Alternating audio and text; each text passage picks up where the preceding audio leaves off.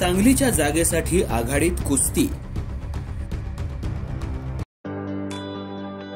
अकरावी बारावी science NEET JEE CET NATA अशा सर्व स्पर्धा परीक्षांसाठी नंबर एकचा पर्याय म्हणजे Shri Rajlakshmi royal academy of science Vita. कारण इथे मिळतो number one result. Number one teaching quality. Number one infrastructure.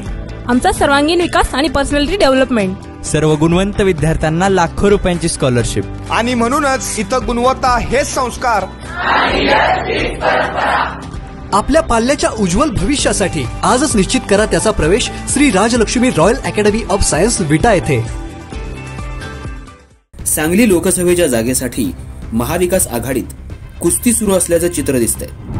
काल उद्धव ठाकरे यांनी मिरज इथं झालेल्या सभेत डबल महाराष्ट्र केसरी चंद्रहार पाटील यांची उमेदवारी घोषित केली आहे आघाडीच्या बैठकीत तिढा सुटलेला नसताना ठाकरे यांनी परस्पर चंद्रहार पाटलांची उमेदवारी घोषित केल्यानं काँग्रेसमध्ये नाराजीचं वातावरण आहे. काँग्रेसच्या नेत्यांनी नाराजी व्यक्त केली आहे. कसल्याही परिस्थितीत सांगलीची जागा आम्ही लढवणारच असं त्यांनी ठरवलंय. सांगलीची जागा खरं तर काँग्रेससाठी प्रतिष्ठेचा विषय आहे. उद्धव ठाकरे आणि संजय राऊत यांनी मिरजेत येऊन विषय मार्गी लागलेला नसतानाही उमेदवारी घोषित करत काँग्रेसवर कुरघडी करण्याचा प्रयत्न केलाय. त्यामुळे सांगलीत आघाडीत कुस्ती होणार का? दोन्ही पक्षाचे उमेदवार मैदानात येणार का? असाही प्रश्न पडतोय. महाविकास आघाडीचा तिढा नेमका कधी सुटणार?